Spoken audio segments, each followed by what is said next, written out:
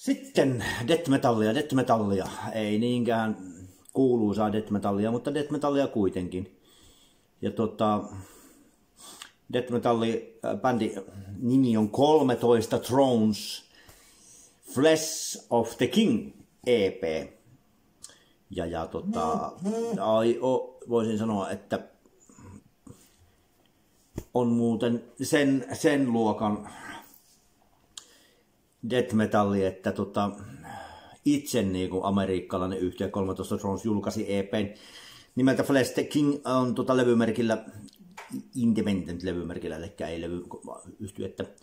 Eli tämä on nettijulkaisu ja julkaisun kesto on 20 minuuttia, mutta siis intro on äh, minuutin pätkä ja Thrones on sitten kolme minuuttia. Flesh of the King on kans kolme minuuttia ja Curator of Madness on kolme minuuttia. Rotten, Rotten Rule on kaksi minuuttia neljä.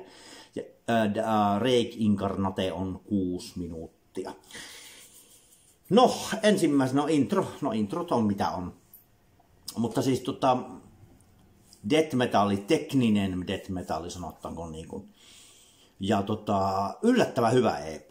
Siis yllättävän hyvä EP, siis oikeasti. Ja äh, 6 minuut, 6 biisiä, 20 minuuttia. No siinä ei nyt kerkki kyllä paljon niin kuin, silleen mietiskellä. Mutta esimerkiksi lähettä biisistä intro on semmoinen mielenkiintoinen, niin kuin yleensä introt on. Ja tota, sitten kun intron, intron jälkeen on biisi Thrones, niin sitten siinä on jo sitä, sitä tyypillistä, sitä, sitä, sitä mättöä, sitä... Mutta siis omalla, omalla tavalla. Mutta siis oikeasti tämä bändi niin kun miettii ää, biisi, levyn pituuden ja kaiken, kaiken kaikkiaan. Mitä nyt tässä nyt kuuntelin, niin tota, ihan, ihan mukiin menevä tämä on. Ei, ei, ei tässä niin kuin, EPnä tässä ei ole oikeastaan mitään niin kuin huonoa sanottavaa. Tietenkin, ja tämä löytyy muuten YouTubesta, tämä Flesh of, äh, Flesh of the King kappaleineen, kaikkineen. Ja, ja tota, sen verran pitää nyt lukasta. Minä vähän sieltä kahtelen tota, sen verran, en ole kerinyt ja tota, rupesin, kuuntelin kuitenkin, niin tota, ilmeisesti bändi on perustettu eh, ilmeisesti tänä vuonna, ei ole tarkkaa tietoa.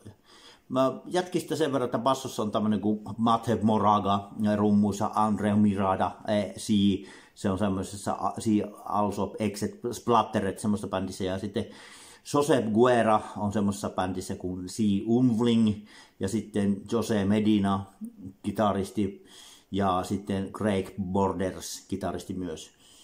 Niin tota, ja, ja, ja bändi, äh, niin kuin bändistä sanoin, niin tota, on hyvin death metalli, death metalli pitoista.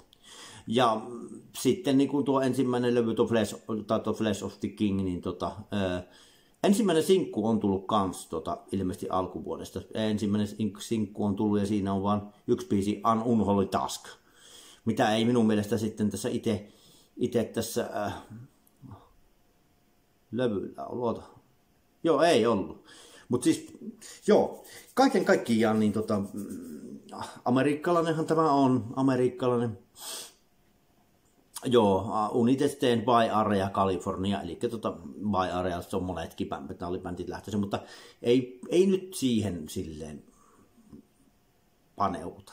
Niin kuin sanoin, 20 minuuttia 47 sekuntia, saatan on sopiva määrä. Ja EPXin niin tota ihmeen, ihmeen lahjakkaan hyvä. Mutta jos tykkää death metallista, niin tota, eiköhän tämä löydy YouTubestakin, tämä 13 Thrones, varmasti löytyy.